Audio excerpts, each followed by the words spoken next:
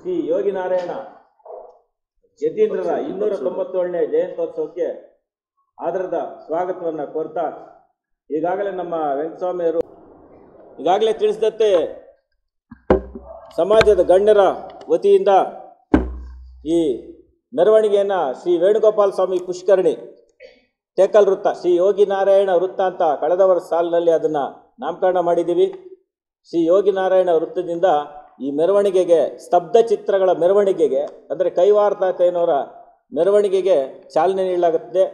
ಸಮಾಜದ ಎಲ್ಲ ಗಣ್ಯರು ಮತ್ತು ನಮ್ಮ ಜನಾಂಗದ ಎಲ್ಲ ಮುಖಂಡರು ಮತ್ತು ಈ ಜನಾಂಗಕ್ಕೆ ಕೊಡುಗಡೆ, ಕೊಡುಗೆ ನೀಡಿರುವಂಥವರು ಎಲ್ಲರೂ ಈ ಮೆರವಣಿಗೆಗೆ ಚಾಲನೆ ನೀಡ್ತಾರೆ.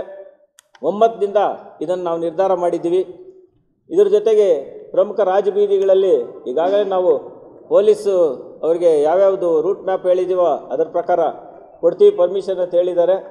ಅದು ಅಧಿಕೃತವಾಗಿ ಇನ್ನೂ ಬಂದಿಲ್ಲ ಆದ್ದರಿಂದ ತಮ್ಗೆ ಹೇಳೋಕ್ಕಾಗ್ತಾ ಇಲ್ಲ. ಆದರೂ ನಮ್ಮ ಇದ್ರ ಪ್ರಕಾರ ಯೋಗಿನಾರಾಯಣ ವೃತ್ತದಿಂದ ಡೂಮ್ಲೇಟ್ ವೃತ್ತ ಕೆ ಇ ಬಿ ವೃತ್ತ ಎಂ ಜಿ ರಸ್ತೆ ಮತ್ತು ಅಲ್ಲಿಂದ ಹಂಗೆ ಮುಂದಕ್ಕೆ ಸಾಗಿ ನಲ್ಗಂಗಂ ದೇವಸ್ಥಾನದ ವೃತ್ತದ ಮೂಲಕ, ಮೆಕ್ಕೆ ವೃತ್ತದ ಮೂಲಕ ರಂಗಮಂದಿರದಲ್ಲಿ ಇದರದ್ದು ಮುಕ್ತಾಯ ಆಗತ್ತೆ. ಈ ಮೆರವಣಿಗೆ ಮುಕ್ತಾಯದ ಸಮಯದಲ್ಲೇ ಜಿಲ್ಲಾಡಳಿತದಿಂದ ಮಾನ್ಯ ತಾತಯ್ಯನವರ ಜಯಂತಿಯ ಪ್ರತಿಮೆಗೆ ಪುಷ್ಪಾರ್ಚನೆ ಮಾಡುವ ಮೂಲಕ ಅಲ್ಲಿ ಮತ್ತೊಂದೇ ಬಾರಿ ತಾತಯ್ಯನವರಿಗೆ ಪುಷ್ಪಾರ್ಚನೆ ಮಾಡೋ ಮೂಲಕ ಉದ್ಘಾಟನೆ ಆಗುತ್ತೆ.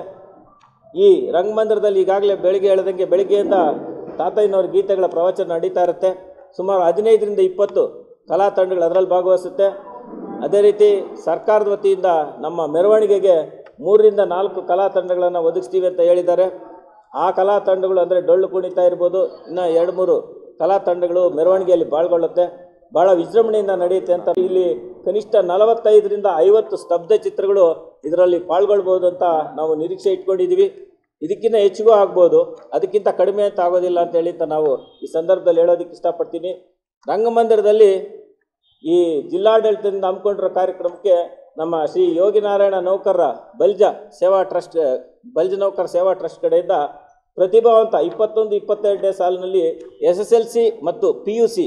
ಈ ಪರೀಕ್ಷೆಯಲ್ಲಿ ಶೇಕಡ ಎಂಬತ್ತಕ್ಕಿಂತ ಹೆಚ್ಚು ಅಂಕ ಪಡೆದ ಉತ್ತೀರ್ಣರಾಗಿರುವಂಥ ನಮ್ಮ ಬಲಿಜನಾಂಗದ ಮಕ್ಕಳಿಗೆ, ವಿದ್ಯಾರ್ಥಿಗಳಿಗೆ ಪ್ರತಿಭಾ ಪುರಸ್ಕಾರವನ್ನು ಹಮ್ಮಿಕೊಂಡಿದ್ದೀವಿ.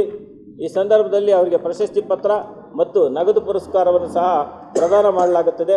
ಹಾಜರಿರ್ತಕ್ಕಂಥ ಗಣ್ಯರು, ಅತಿಥಿಗಳು ಮತ್ತು ಯಾರ್ಯಾರು ರಾಜಕೀಯ ಮುಖಂಡರು ಬಂದಿರ್ತಾರೆ, ಅವರೆಲ್ಲರ ಕಡೆಯಿಂದನೂ ಸರಿಸುಮಾರು ನಾವು ಅದನ್ನು ನೋಟ್ ಮಾಡ್ಕೊಳ್ಳಿ ಸರ್ ನಮ್ಮ ಜಿಲ್ಲೆಯಲ್ಲಿ ತೊಂಬತ್ತೊಂದಕ್ಕಿಂತ ಅಧಿಕ ಮಂದಿ ಎಂಬತ್ತು ಪರ್ಸೆಂಟ್ಗಿಂತ ಹೆಚ್ಚಿಗೆ ಮಾರ್ಕ್ಸ್ಗಳನ್ನು ತಗೊಂಡಿದ್ದಾರೆ ನಮ್ಮ ಜನಾಂಗದವರು. ಎಂಬತ್ತು ಪರ್ಸೆಂಟ್ಗಿಂತ ಆರುನೂರ ಇಪ್ಪತ್ತೈದಕ್ಕೆ ಆರುನೂರ ಇಪ್ಪತ್ತೈದು ತೆಗೆದುಕೊಂಡಿರೋಂಥ ವಿದ್ಯಾರ್ಥಿ ಸಹ ಇದ್ದಾರೆ. ಇದು ದಯವಿಟ್ಟು ಇದನ್ನು ಗಮನಿಸಿ, ದಯವಿಟ್ಟು ಅದು ತಾವು ನಾಳೆ ರಂಗಮಂದಿರದಲ್ಲಿ ಬಂದರೆ ಆ ಕಾರ್ಯಕ್ರಮದಲ್ಲಿ ಎಲ್ಲ ಗೊತ್ತಾಗುತ್ತೆ ತಮಗೆ. ಇಷ್ಟು ಹೇಳ್ತಾ ಬಿಟ್ಟಿದ್ದೀವಿ